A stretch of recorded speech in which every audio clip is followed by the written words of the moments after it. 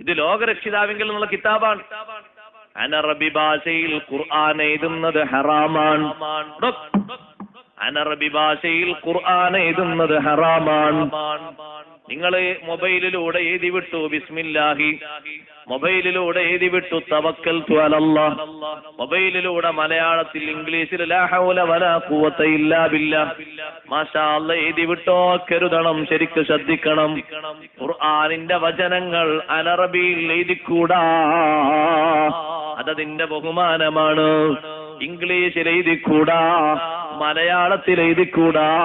അതുപോലെ തന്നെ മറ്റൊരു ഭാഷയിലും എഴുതിക്കൂടാ.